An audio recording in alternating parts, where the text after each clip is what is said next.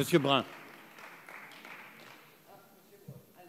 Merci, Monsieur le Président. Euh, Monsieur le Ministre, je voulais aborder le financement du plan euh, France Très Haut Débit.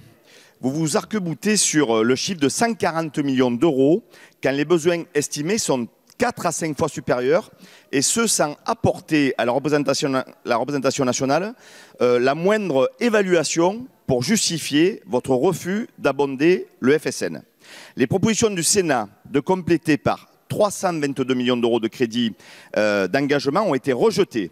Et le nouveau cahier des charges du plan France Très Haut Débit traduit une vision comptable, sans nouveau crédit d'engagement, et il vise uniquement en fait à diminuer à la fois l'assiette des dépenses éligibles et les taux de subvention pour les collectivités, et euh, au final transférer davantage de charges sur les collectivités déjà en difficulté.